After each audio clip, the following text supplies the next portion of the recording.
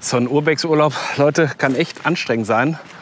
Äh, insbesondere wenn man so drei Pins am Tag macht, muss man immer gucken, dass die Akkus geladen sind, dass die SD-Karte vernünftig ist, dass das Auto richtig gepackt ist, dass die Hunde gut versorgt sind, dass man den Weg gut findet. Also tatsächlich heute Tag 4, bin ein bisschen genervt.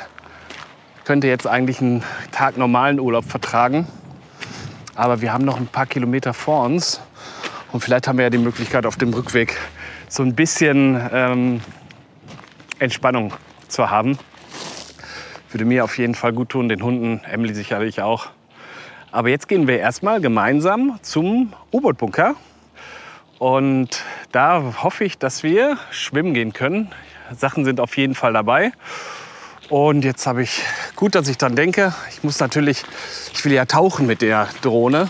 Ich brauche den Plexiglaskasten noch. Also, ja, wenn man im Ausland ist, ist der Weg auch manchmal ein Abenteuer. Komisch, das war hier. Ach ja, die Schranke war zu, ne? Ja. Ja, wir sind gerade einen ähnlich steinigen Weg gefahren, aber der war deutlich steiniger als den, den wir jetzt haben müssen jetzt ungefähr 1,6 Kilometer laufen. Und wir sehen hier schon das ehemalige Sperrgebiet, das ehemalige Militärgelände. Und jetzt haben wir, wie gesagt, noch ungefähr anderthalb Kilometer. Ich habe mir hier so ein Unterwasser-Bodykit geholt, weil ich die Seitenklappe irgendwie verlegt habe von meiner GoPro. Eigentlich ist sie ja wasserdicht. Aber ich muss mir jetzt damit behelfen. Mal gucken, was wir hier haben. Könnte Munitionsbunker oder ähnliches sein. Hier ist das alles voll. Man hat auch hier die Vegetation genutzt. Hier seht ihr überall diese Steine, die Steinhaufen. Die hat man so angelegt, dass man einen Splitterschutz von den Bomben hatte. Und hier sind in diesen Vertiefungen dann die ja, Bunker ist eigentlich übertrieben. Diese Gebäude sind da reingesetzt worden, höchstwahrscheinlich für Munition von der ex-jugoslawischen Armee. So, und dann bis gleich. Da ist das Meer, beziehungsweise eine Meermündung. Haben gerade einen Harpunenfischer entdeckt oder gesehen. Der ist hier mit einer riesigen Harpune auf der Jagd nach Fischen. Schaut euch mal wunderschön, oder? Ja. Mhm, das, oder der, guck mal, wie sa sauber das Wasser ist. Das wird schön werden gleich. Guck mal, Segelboot. Mhm. Klasse.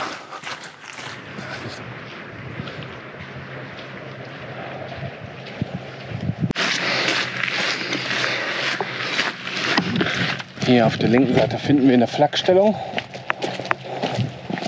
Gab es auf beiden Seiten in der Regel zwei Zentimeter oder ein Zwilling, je nachdem. Und wir sehen auch, dass es geneigt ist, damit das Wasser abgelaufen ist. Aber heute ist das Loch zu. Mega Aussicht, oder?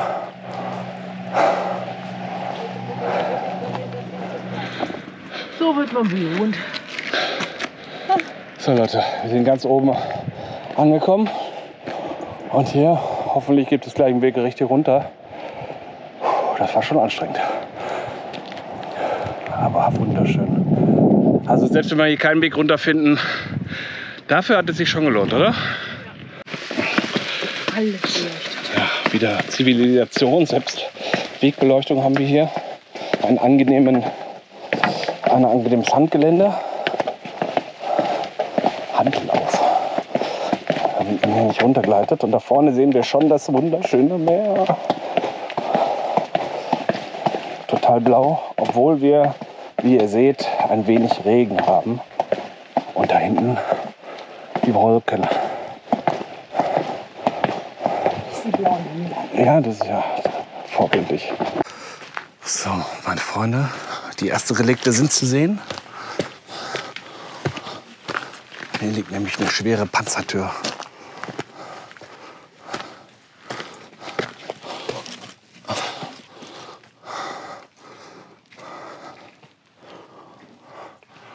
Ist ein Weg hoch. Vielleicht ist da der Eingang.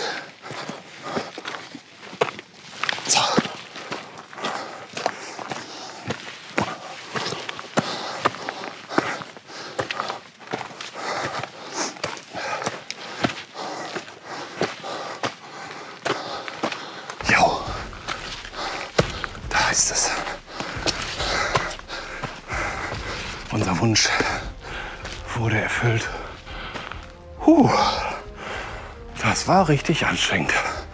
Hoffentlich ist es auf. Nein. Aber hier sehen wir auch nicht viel drin. Außer eine Taube.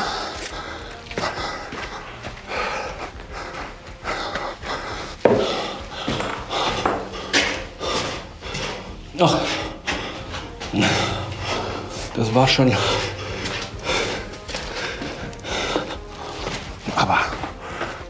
Ist das hier? Wahrscheinlich auch nur ein Unterstand.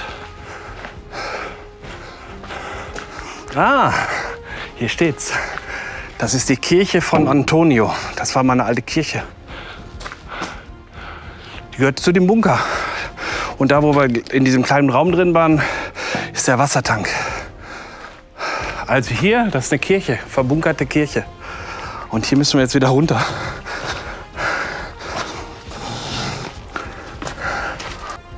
Und den Weg müssen wir jetzt gehen, ohne dass wir hier reinfallen. Und es hat hier geregnet und es ist ziemlich glatt. Aber machbar.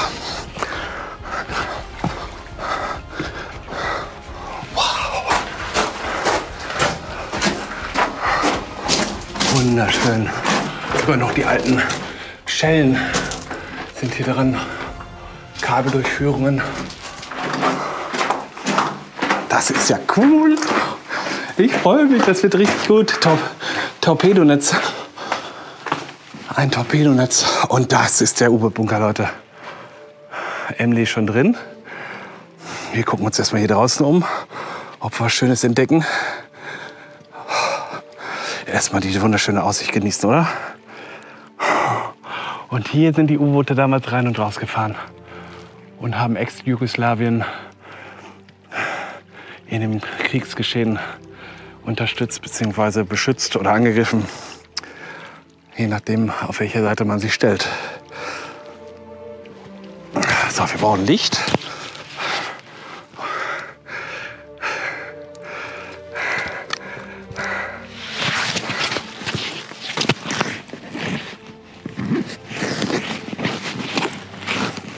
Also mit der Drohne hätte man heute nicht viel anfangen können, außer natürlich diese wunderschöne Aufnahmen machen können.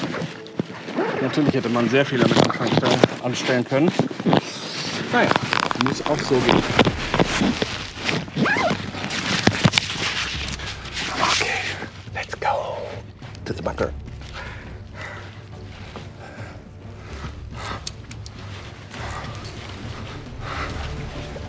Torpedonetze. Original Interieur.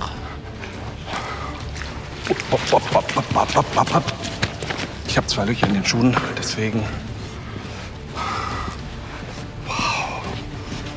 Mega gut, Leute. Tauben.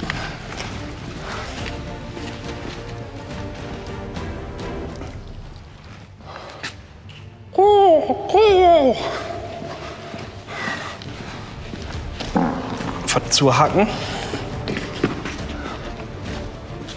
Schuhe, Adidas. Originale Befestigungen. Da hinten ist wieder Licht. Konnten die also ein- und ausfahren oder ist das die Taschenlampe von Emily? Die bewegt sich nicht. Also wird man die rein und rausgefahren sein. Da musste man schon gut manövrieren können hier. Weil da vorne und hier geht es ja ordentlich um die Ecke.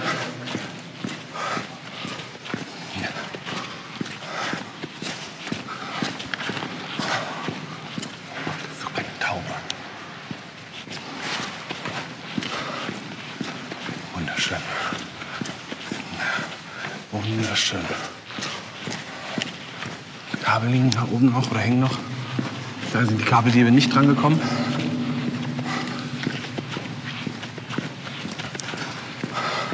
So, auf den Grund kann man nicht gucken.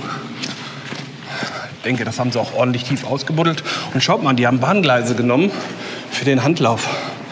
Haben die entsprechend zurechtgebogen oder an den richtigen Stellen dann auch verschweißt. Aber sind Bahnschwellen. So. Schön. Und guckt mal die Aussicht an. Geht das schon ohne? Nee, noch nicht. Mega gut. So, jetzt können wir die Taschenlampe ausmachen. Und alles voller Fische da unten.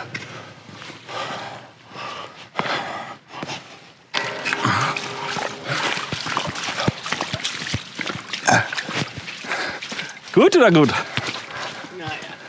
Nicht hinholen. Hier wollten wir schwimmen gehen, oder? Nee, vorne wolltest du. Vorne, ja.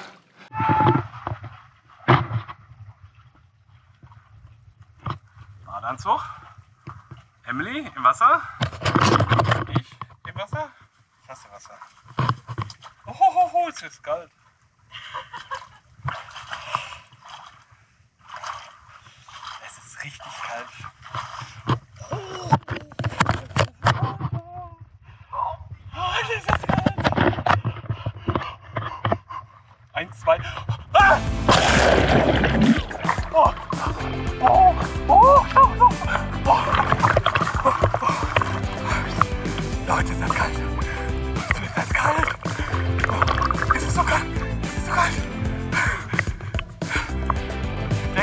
Strömung, ne?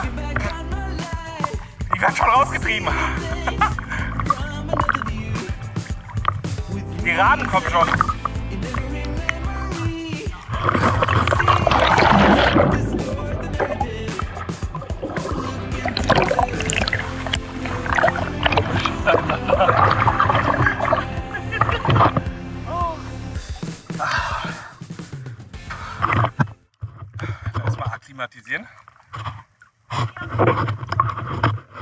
Nee, wir können die Sachen nicht alleine lassen. Sicher ist sicher.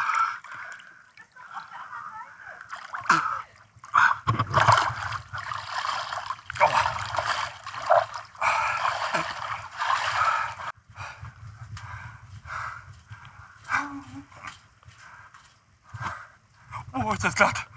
Oh, ist das glatt. Was waren die Fische denn hier? Das waren Kollegen. Ups. Hoffentlich überlebt das. So, ich hoffe, ich habe. Ich habe gerade Fische gerettet, glaube ich.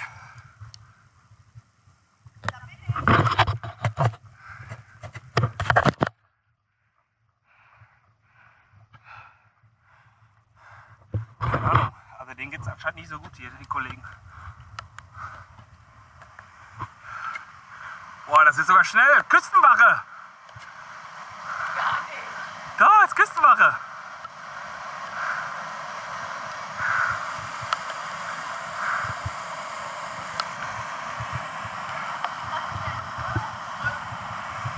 Bitte? Guckt euch die Welle an. Boah, guckt dir die Welle an. Das ist Nummer eins. Jetzt kommt sie.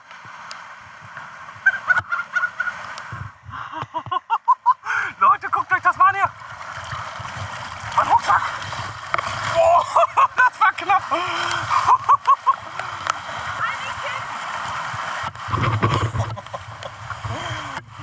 Ich glaube, ich.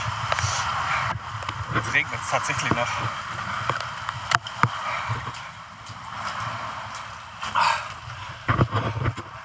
Ist auf jeden Fall richtig glatt. Jetzt ist auch egal, wenn man das wird, ne?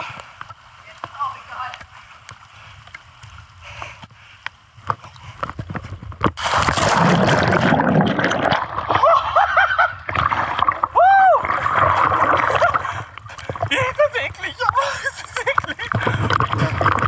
Boah, ich hasse Wasser. Und ich kann den Grund nicht sehen. Das ist das Schlimmste überhaupt.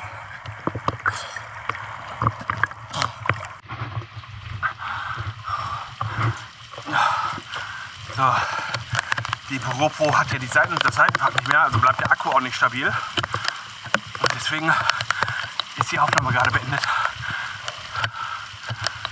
Jetzt, ach nein, jetzt fängt die an auch an zu kondensieren. Das ist doch voll blöd. Aber ich spring einfach nochmal rein.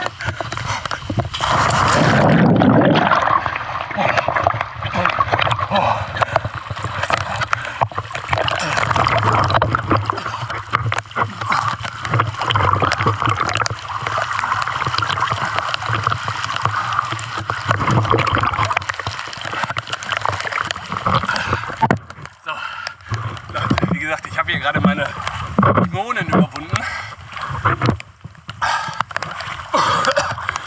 Ich hasse Wasser noch mehr als die Höhe. Von daher war das schon eine ziemlich krasse Sache. Aber es ist nicht mehr kalt.